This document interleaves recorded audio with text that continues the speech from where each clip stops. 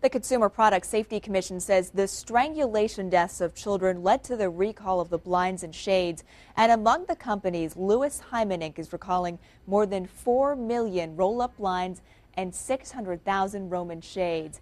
They're the one quarter inch oval roll up blinds and Woolrich Roman shades. The CPSC says a one year old boy from Maine became entangled and strangled in the lift cord loop of a roll up blind that had fallen into his portable crib and a 13 month old boy from Arkansas was found with his head between the exposed inner cord and the cloth on the backside of a Roman shade.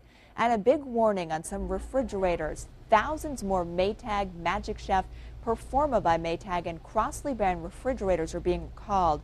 An electrical failure in the relay, the component that turns on the refrigerator's compressor, can cause overheating and pose a serious fire hazard. Four people have reported property damage because of this. And next, more than 200,000 electric ranges are being recalled because they too can cause a fire. It's certain Frigidaire and Kenmore Elite smooth top electric ranges. So far, Frigidaire's received 126 reports of incidents.